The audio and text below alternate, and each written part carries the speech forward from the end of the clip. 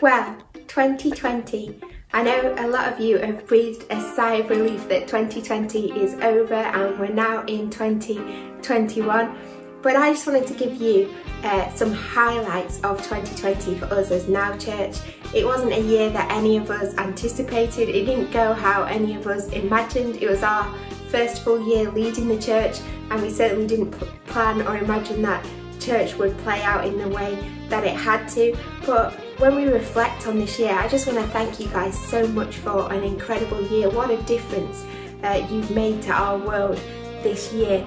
Let me share some of those highlights with you. So first of all, during the first lockdown, we had our Box of Hope appeal and because of your generosity, we were able to help 52 families in need with toys, games, activities for their children and food as well. We gave enough food away to provide 3,000 portions.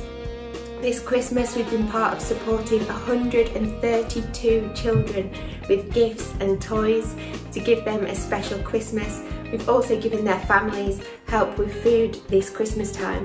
We've done doorstep drop off of gifts to elderly people, older people in the community. 60 people have been visited with gifts and food a few times this year. People who would normally have attended are now gold meal. This year you've continued to give generously despite restrictions, despite uh, perhaps challenges you might have faced in your own employment, your own life, the financial climate around us, giving has gone up as a church. We've also been fortunate to receive over £17,000 worth of funding from different external bodies that has supported the work that we do and we've continued to give out of um, your generosity to support the work of Feed the Hungry, feeding children in need overseas. So we just want to thank you for that, that's amazing. Our kids department this year, Michelle, our kids pastor, really stepped up to the challenges pre presented to us by COVID and the kids have had an amazing programme online each week. They have had outdoor picnics, they've had socially distanced movies, they've had Zoom parties, they've had Connect online and yeah, a brilliant online kids programme each week. We want to thank the team for providing that. Our youth Amber stepped into the role as youth pastor in March, literally the week that this started. We want to thank Danny for the start of the year and the work that he did and then Amber for entering into such a crazy season but she has run an alpha course with the youth, weekly Zooms or in-person sessions. The youth is now split into two different age groups just to help with capacity. Um, they've had movie nights, they've done gift drops. We want to thank Amber and Melody who's part of that team for all their work. And you know, as a church, we've had online services, we've had outdoor services, we've had indoor watch parties, we've run a marriage course, a money course, a prayer course, a Bible study course, a mental health course, we've had countless quizzes, we've had weekly prayer meetings, and you have all stepped up so much in supporting each other as well. People who've been in need have reached out, you guys have cared for one another.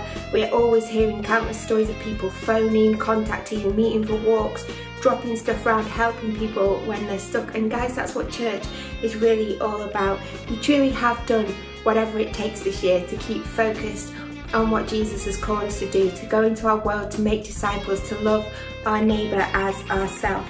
You truly have been church without walls. And we always say church is more than a location, it's more than an event, it's more than a Sunday service.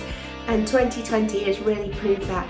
Guys, you've gone above and beyond. We're so thankful to be part of the journey of Now Church, part of what God is doing in Worksop, in Langold, in Carlton, in Retford, and to be on this journey with you guys is absolutely incredible. Jesus is building his church. The gates of hell cannot prevail against it. COVID-19 cannot prevail against it. God is at work in our world and we're so thankful that you guys have invested everything into um, our church journey this year into making a positive impact in our community and into showing God's love to those around Thank you. 2020 hasn't been what any of us perhaps would have chosen or wanted, but we're just excited for the opportunities that are coming ahead in 2021. And we know that God is going to continue to do incredible things in you and through you. And we want to thank you, church, and honour you today.